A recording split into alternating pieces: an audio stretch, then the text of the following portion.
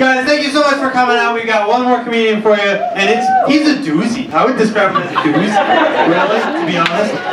It's a good friend of mine. This is really cool. It's Russell Jordan Poole.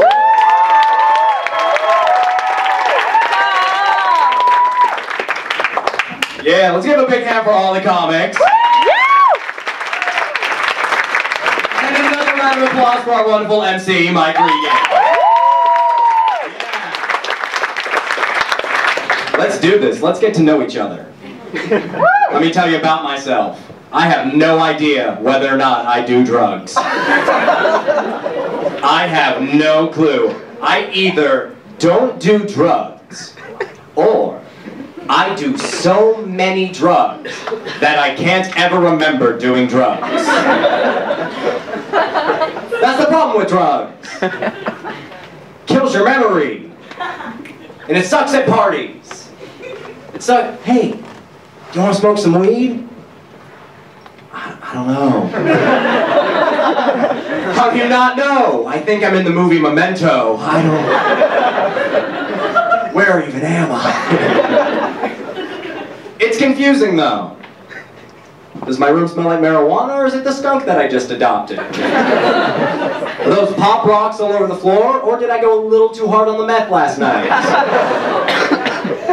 Is that a heroin needle in my desk drawer or did I steal my roommate's insulin shots because he ate the last of my Chobani Greek yogurt?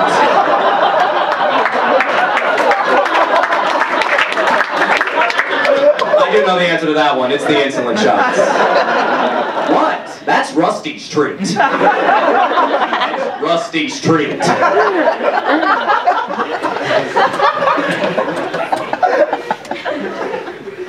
I get my haircut at salons. What are you, a girl? I don't know, closed-minded audience member. Is it girly to want to be pampered in a chair while sweet-smelling perfumes waft through the air and Celine Dion plays over the radio? If so, then yeah, I might be a girl. But you know what? I'm willing to admit that. I love the salon. Are you kidding me? It's the best. A bunch of reasonably attractive, middle-aged women rubbing my head and telling me I'm handsome for an hour? Uh, yes please. Sign me up. You don't get compliments at the barber shop.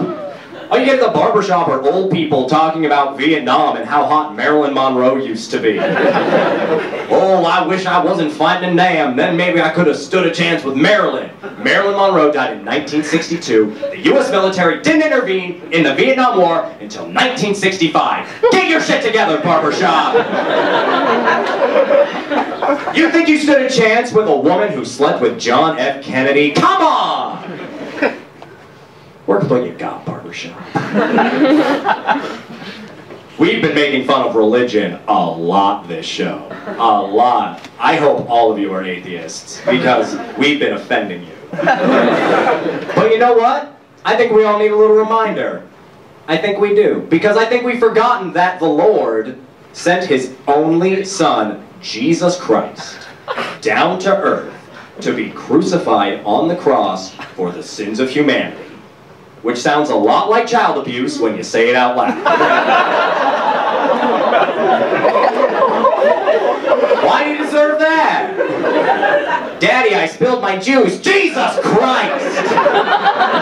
That's it! You're going on the cross! Janine! Janine, get the nails! All I'm saying is if Child Protective Services had existed back in biblical times, that shit would not have gone down. Yahweh, Yahweh, I don't know why she's Wisconsin. Yahweh, do you see other people nailing their children to wood? No, that is why Jesus the Christ is being taken from your care and putting put into a Gentile foster facility.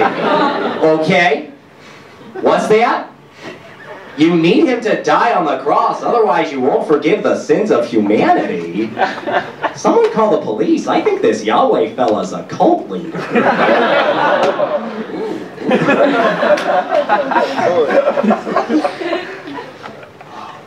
Have you ever had a crush on somebody that was just so big, like you couldn't control it?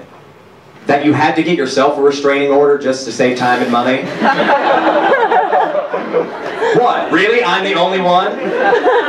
Just because I'm a stalker, I can't be fiscally responsible? I might be a creep, but I'm a taxpayer.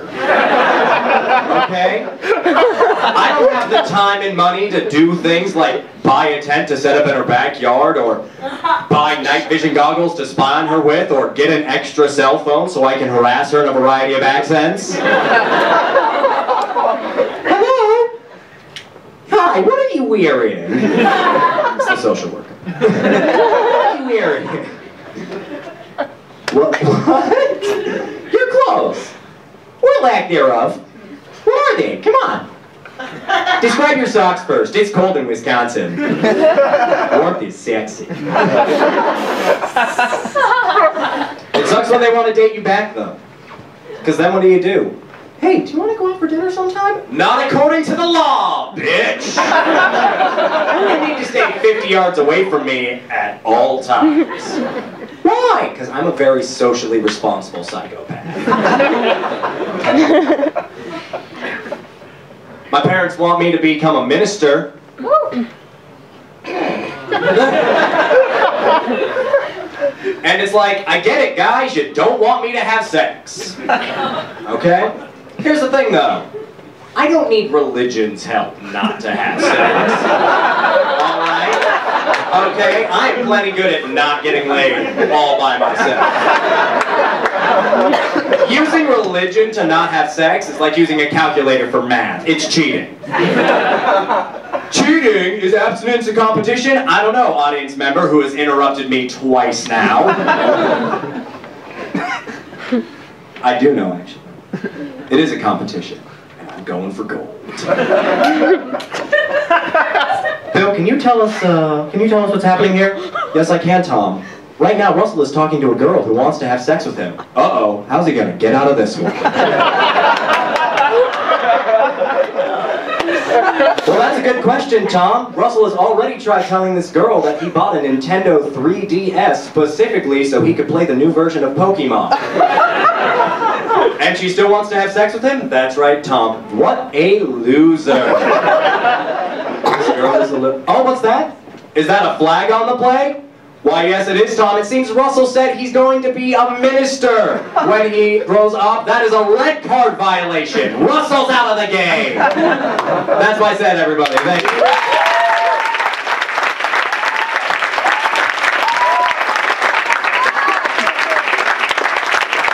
Guys, thank you so I had a lot of fun, and I know you did too. I heard you laughing. Don't tell me otherwise. We are Second Floor Stand Up. You can find us on Facebook. You can find us on Twitter. You can find us in this very room every Tuesday. We have open mics from 9.15 to 11. Come on down. You can bring jokes. You can try them out. You can just have fun, whatever, you know? We thank you so much for coming out. And now just go on with the rest of your weekend. Oh,